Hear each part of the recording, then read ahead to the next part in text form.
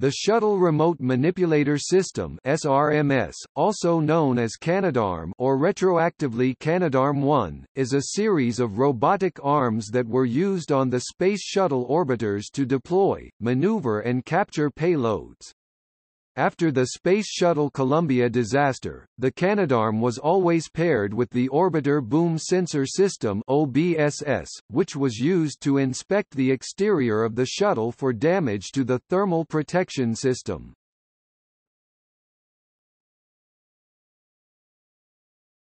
Topic: Development In 1969, Canada was invited by the National Aeronautics and Space Administration NASA to participate in the Space Shuttle program. At the time what that participation would entail had not yet been decided but a manipulator system was identified as an important component. Canadian company DSMA ATCON had developed a robot to load fuel into CANDU nuclear reactors. This robot attracted NASA's attention. In 1975, NASA and the Canadian National Research Council (NRC) signed a memorandum of understanding that Canada would develop and construct the Shuttle Remote Manipulator System. NRC awarded the manipulator contract to Spar Aerospace. Three systems were constructed within this design, development, test and evaluation contract, an engineering model to assist in the design and testing of the Canadarm, a qualification model that was subjected to environmental testing to qualify the design for use in space, and a flight unit. Anthony Tony Zubrzycki, a design engineer at DSMA ATCON, while seconded to SPAR, originated the concept for the Canadarm end effector, inspired by an elastic band around his fingers. Tony formally presented this concept to NASA officials.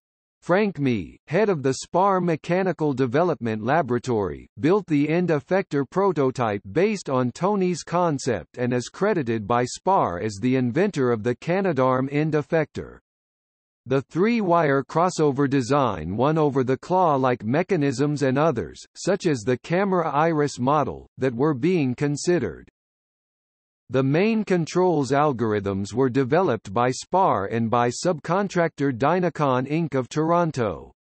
CAE Electronics Limited in Montreal provided the display and control panel and the hand controllers located in the shuttle aft flight deck. Other electronic interfaces, servo amplifiers, and power conditioners located on the Canadarm were designed and built by SPAR at its Montreal factory. The graphite composite boom that provides the structural connection between the shoulder and the elbow joint and the similar boom that connects the elbow to the wrist were produced by General Dynamics in the United States. Dilworth, Secord, Meagher and Associates, Limited in Toronto was contracted to produce the engineering model end effector then SPAR evolved the design and produced the qualification and flight units. The shuttle flight software that monitors and controls the Canadarm was developed in Houston, Texas, by the Federal Systems Division of IBM. Rockwell International's Space Transportation Systems Division designed, developed, tested and built the systems used to attach the Canadarm to the payload bay of the orbiter. An acceptance ceremony for NASA was held at SPAR's RMS division in Toronto on the 11th of February 1981. Here Larkin Kirwan, then the head of the NRC, gave the SRMS the informal name, Canadarm. The first remote manipulator system was delivered to NASA in April 1981. Astronaut Judith Resnik developed the NASA software and onboard operating procedures for the system.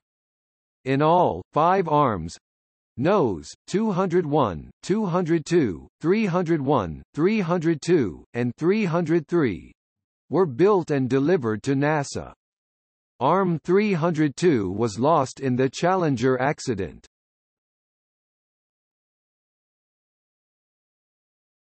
Topic: Design and capabilities. The original Canadarm was capable of deploying and retrieving payloads weighing up to 332.5 kilograms, 733 pounds in space. In the mid-1990s the ARM control system was redesigned to increase the payload capability to 3,293 kilograms 7,260 pounds in order to support space station assembly operations. While able to maneuver payloads with the mass of a loaded bus in space, the ARM motors cannot lift the ARM's own weight when on the ground. NASA therefore developed a model of the ARM for use at its training facility within the Johnson Space Center located in Houston, Texas. The Canadarm can also retrieve, repair and deploy satellites, provide a mobile extension ladder for extravehicular activity crew members for work stations or foot restraints, and be used as an inspection aid to allow the flight crew members to view the orbiters or payload surfaces through a television camera on the Canadarm. The basic Canadarm configuration consists of a manipulator arm, a Canadarm display and control panel, including rotational and translational hand controllers at the orbiter aft flight deck flight crew station, and a manipulator controller interface unit that interfaces with the orbiter computer.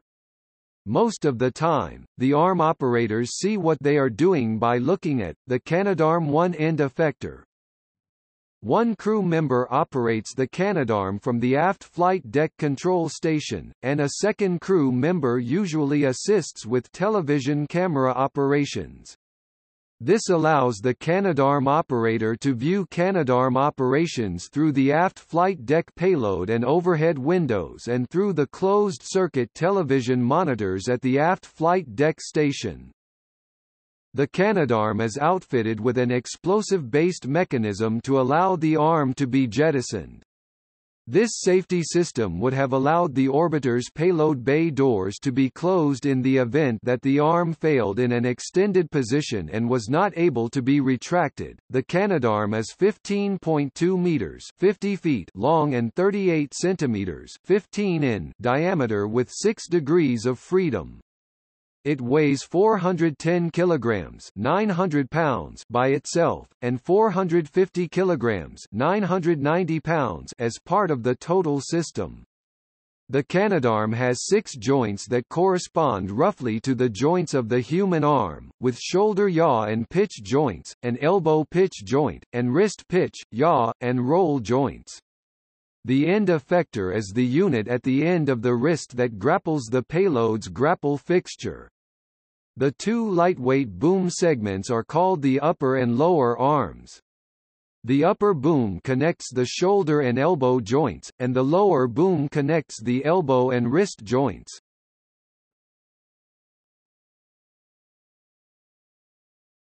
Topic: Service history. A simulated Canadarm installed on the Space Shuttle Enterprise was seen when the prototype orbiter's payload bay doors were opened to test hangar facilities early in the shuttle program. The Canadarm was first tested in orbit in 1981, on Space Shuttle Columbia's STS-2 mission. Its first operational use was on STS-3 to deploy and maneuver the plasma diagnostics package. Canadarm has since flown on more than 90 missions with all five orbiters.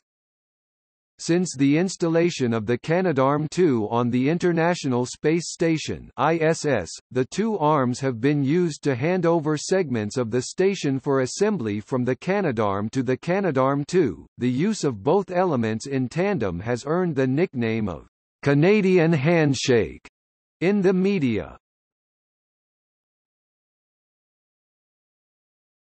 Topic: Retirement.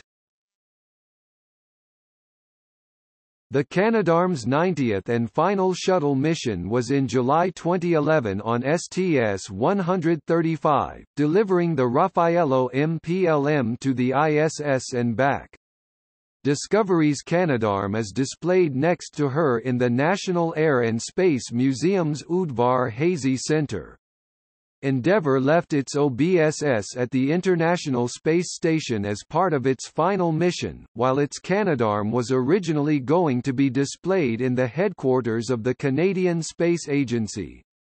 However, Endeavour's Canadarm is now on permanent display at the Canada Aviation and Space Museum in Ottawa.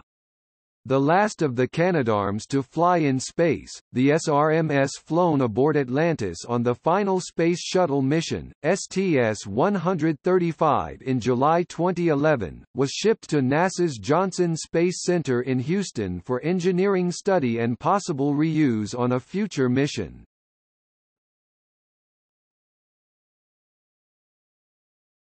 Topic. Derivative Based on the Canadarm1, the larger Canadarm2 is used for berthing the trusses, the commercial vehicles and inspecting the whole ISS.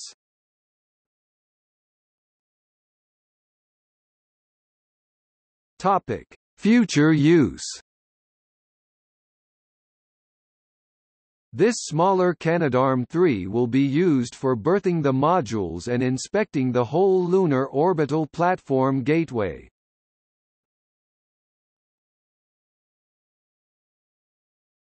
Topic: In popular media. On November 13, 2012, Google Canada displayed a doodle on its home search page to celebrate the 31st anniversary of the Canadarm's first use in space.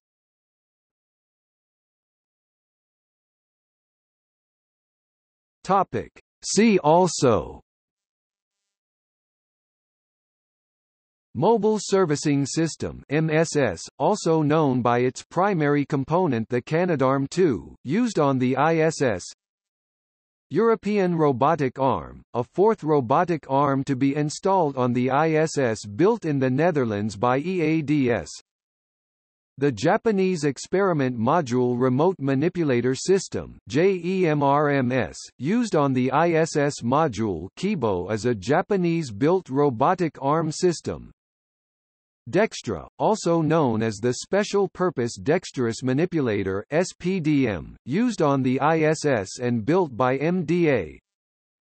Strela, a Russian-built crane used on the ISS to perform similar tasks as the Mobile Servicing System.